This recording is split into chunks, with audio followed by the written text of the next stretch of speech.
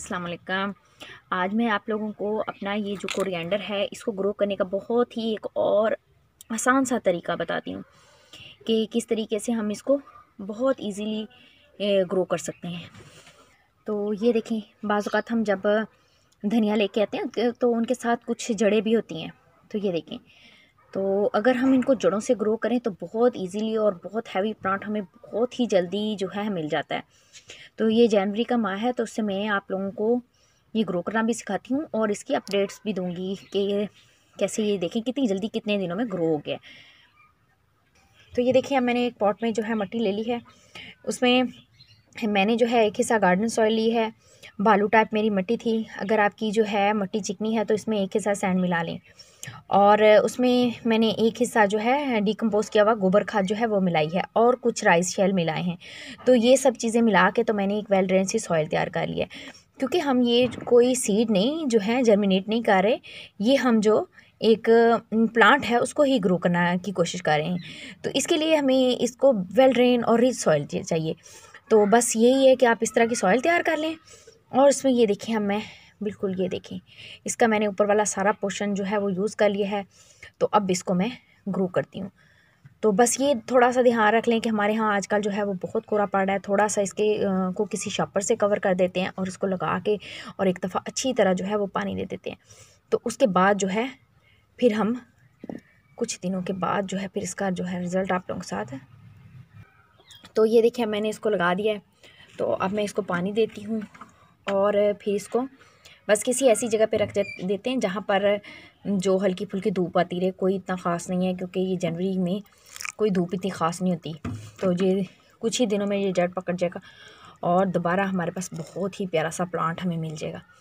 तो ये देखें, इसी तरह मैंने जो है अपना मिंट का जो है कुछ प्लांट्स लगाए हुए हैं। आज मैं आप लोगों को अपने मिंट के कुछ प्लांट जो हैं वो पानी में मैंने ग्रो किए हैं, वो दिखाती हूँ। तो ये देखें, मैंने कुछ जो है, मैं मिंट के प्लांट दो थे, वो मैं ग्रो कर रही थी और मेरे पास कुछ बच गए तो मैंने इस तरह इसको पानी में डाल के तो रख दिया ये देखें, किस तरह इन्होंने जड़ें निकालनी शुरू कर दी हैं। तो मैंने इसी तरह एक्स्ट्रा मेरे पास ये दो चीज़ें थी, मैंने उसमें डाल के इस तरह रख दी थी देखिए माशाल्लाह से कितनी अच्छी इसकी ग्रोथ हो रही है, कितनी प्यारा ये जो है ग्रो हो रहा है। तो यहाँ से अगर हम इसको अब अपने किसी भी प्लांट में ट्रांसफ़र कर दें तो बहुत ही जल्दी जो है, अब ये चल पड़ेगा। तो इस तरह भी आप कर सकते हैं, अगर आप बाज़ार से मिंट के कुछ प्लांट ले आएँ और इस इस तरह अगर उसको पानी में डाल के रख दें कुछ दिनों के लिए और जब वो ग्रो हो जाएँगे तो फिर आप इसको किसी भी पॉट में लगा के तो बहुत प्यारे प्यारे जो हैं प्लांट हासिल कर सकते हैं। तो ये देखिए कितना अच्छा लग रहा है। तो चलें, अब इसका भी रिज़ल्ट कुछ एक दिनों के बाद आप लोगों के साथ शेयर करूँगी, इंशाल्लाह इसको मैं शॉपर से कवर कर देती हूँ। और चलते चलते आपको आज कुछ ग्रोथ दिखाती हूँ। ये देखिए मेरी मूलियों की ग्रोथ माशाल्लाह कैसी अच्छी जा रही है। और ये मेरी पालक है, कितनी अच्छी जा रही है। कुछ एक ही सब्ज़ियाँ मैं आप लोगों को दिखाऊँगी। और ये देखिए मेरी गोभी के प्लांट कितने अच्छे हैं और बेस्ट और ये देखिए, ये देखें मैंने जो है घर में चकंदर यूज़ किए थे तो ये देखें इसके जो छोटे छोटे लीव्स जो हैं वो ग्रो हो रहे थे। तो मैंने सोचा चलें अब ये शॉपर भी खाली है और चुकंदर के लीव्स मुझे बहुत अच्छे लगते हैं। हम्म, तो चलें इसको ग्रो कर देते हैं। तो इसका भी रिज़ल्ट आप लोगों के साथ मैं शेयर करूँगी जब मैं वो जो है अपने कुछ दुनिया का रिज़ल्ट शेयर करूँगी। तो ये देखें कितना प्यारा लग रहा है। ऐसे हम इसको लगा देंगे। और इसी तरह ये कुछ प्याज हैं उनको ये देखें ये भी ग्रो करते हैं। और सारा जो है आप लोगों के साथ शेयर करेंगे कि मेरा जो जो है मैंने प्याज ऐसे ग्रो किया था, उनका क्या रिज़ल्ट है? और ये कुछ ग्रो हो पाए हैं या नहीं? तो ये मेरे पास दो प्याज हो गए, वो चुकंदर हो गया और एक प्याज जो है वो मैं इस तरह ग्रो करूँगी। ये जो है इसके नीचे वाला हिस्सा। देखते हैं क्या हमें मिलता है इनसे। और एक ये प्याज, ये देखिए नीचे वाला हिस्सा। तो ये देखिए। बस इस तरह मैंने इनको ग्रो कर दिया है। तो चलें नेक्स्ट अब इनकी ग्रोथ आप लोगों के साथ ज़रूर शेयर करूँगी।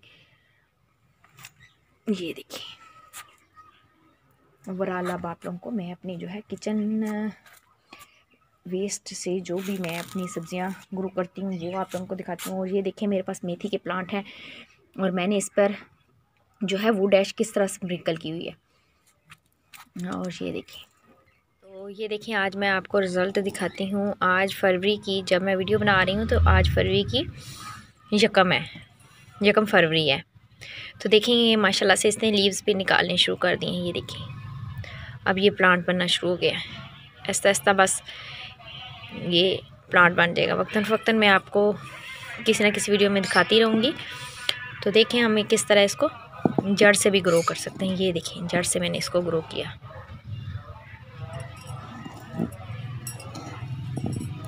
और देखिए कितनी जल्दी ग्रो हो जाता है। दस से पंद्रह दिनों में कितनी अच्छी इसने ग्रोथ पकड़ ली है। और ये देखिए मेरा मिंट प्लांट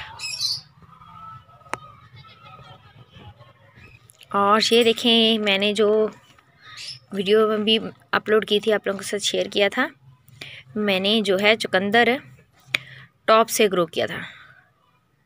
देखिए इतने अच्छे अच्छे इसके लीव्स स्टार्ट हो चुके हैं, ये देखिए। और ये भी ग्रो हो रहा है। और इसी तरह ये मैंने कुछ गाजरें ग्रो की थी, ये देखें। कितनी प्यारी गाजरें जो हैं, वो ग्रो हो चुकी हैं। डेकोरेशन भी होगी अब। इससे हमें गाजरें और चकंदर तो नहीं मिलेंगे, लेकिन बस इसके लीव प्यारे प्यारे मिल जाएँगे और सीड इनमें बन जाएँगे। तो ये देखें, इसी तरह यहाँ से मैंने जो है वो लिया था प्लांट क्योंकि यहाँ पर इसका जो प्लांट था वो मेरे इस लहसन को जो डैमेज कर रहा था, मैंने सोचा यहाँ से उखाड़ लेते हैं और इसको यूज़ कर लेते हैं। और फिर इसकी जड़ को मैंने ऐसे किसी और पॉट में लगा दिया। ये देखिए। ये देखिए मेरे कॉलीफ्लावर